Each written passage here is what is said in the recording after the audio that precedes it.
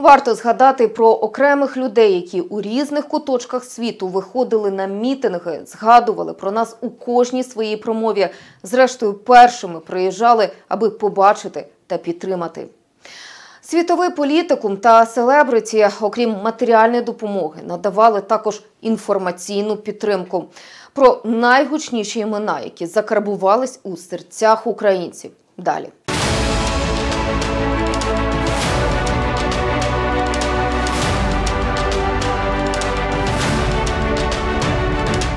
Скільки їх тих, хто, незважаючи на обстріли, звуки сирен та постійну небезпеку, заховав у шафу зіркові костюми та підбори, забув про бізнес-клас у літаках тих, хто, керуючись небайдужістю та людяністю, приїхав до України, щоб підтримати. Увага! Спойлер! Слово підтримка звучатиме безліч разів. Подекуди замінимо його словами дружба та допомога. І ще тут ви точно не почуєте про людей із синдромом Петрусяна та тих, кого вкусила скажена свинособака. 2022 події якого точно ніколи не зітруться з пам'яті. Ми мали можливість переконатися, наскільки сильні як нація, та можливість побачити, що ми не самі. Борючись проти темряви, кожен, хто з нами поряд, потужний світлячок. Якось до прикладу, цей чоловік.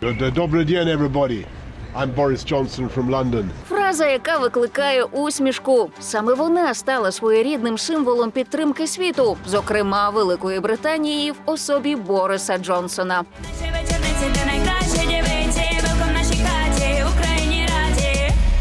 Добрий день, everybody.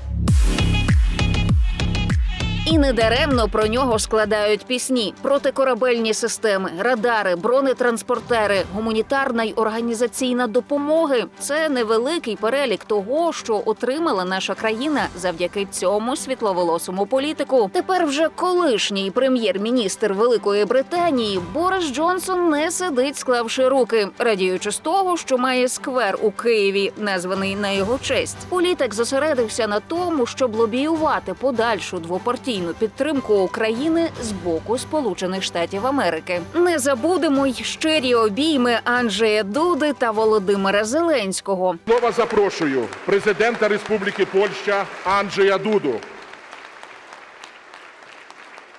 Ці обійми теж є символічними, адже за ними стоїть колосальна всестороння братська підтримка польського політикуму та польської спільноти. Та не обіймами єдиними президент Польщі неодноразово відвідував Україну, а Зеленського називав своїм другом. Я хочу, щоб ви були переконані, що Польща і поляки є з вами і будуть вас підтримувати до останнього дня вашої боротьби. Загалом у нашому рейтингу безстрашні політики, які допомагають та відвідують Україну, перше місце посідають прем'єр-міністр Польщі Матеуш Моравецький, президент Польщі Анджей Дуда.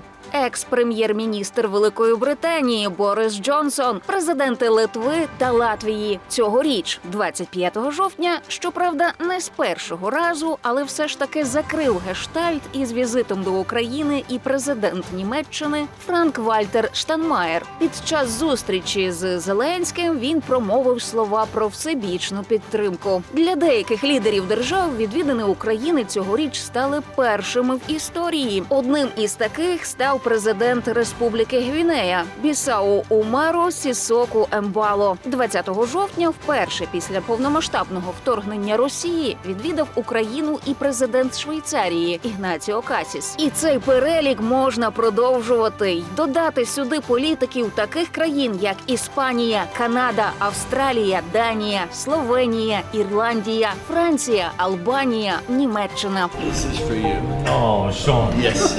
No. Please. That is yours. No, I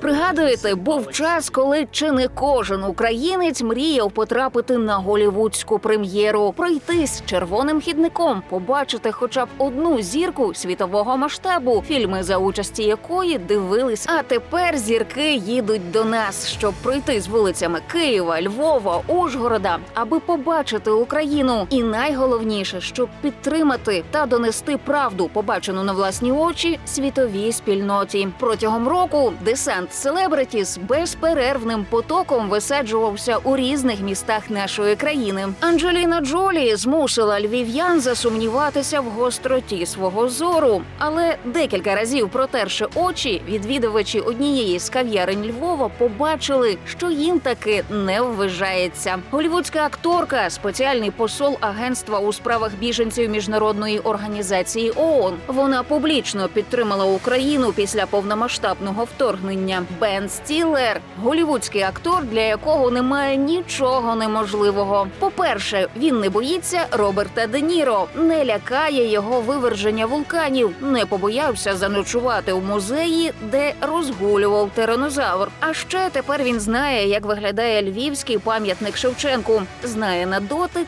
київську бруківку. Але кадри, які побачив, відвідавши Ірпінь та Макарове, його шокували. Після чого він сказав, ця війна має закінчитися. Оскароносного Шона Пена вторгнення орків застало в Україні. Не щуток він знає, як звучать сирени. Діяльність створеної ним організації він спрямував на допомогу українським біженцям. З перших днів війни він закликає світ допомагати Україні. Під час однієї з крайніх поїздок до України привіз декілька мільйонів доларів, які зібрав у Сполучених Штатах Америки. А ще побували в Україні голівудські актори Джесіка Честейн, Лієв Шрайбер, режисер останнього фільму про Бонда Керрі Фокунага, драматург Бо Вілімон. Зустрічався з українськими військовими та вигукував Слава Україні Жан-Клод Ван Дам. Якби ми тут не мірилися перераховувати всіх оскароносців, глобусоносців,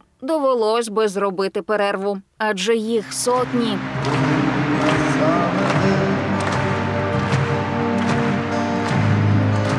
Закінчиться війна.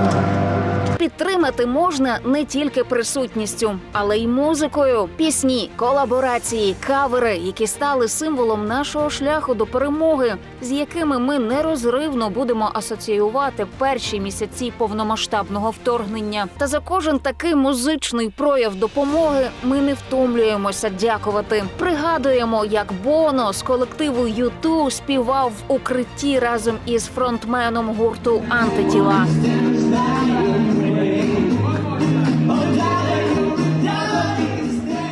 Андрій Хливнюх не наодинці і не сам собі Андрюха, а разом з культовими Pink Floyd популяризують повстанську червону калину у всьому світі. Ой, у лузі червона калина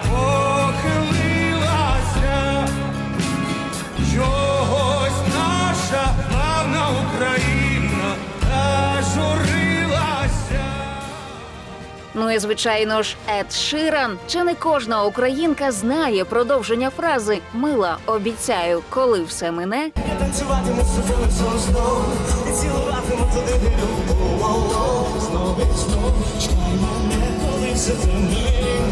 І куди ж без обіймів? Понад 6 мільйонів людей чули, як Coldplay обіймають українців словами пісні Славка Вакарчука.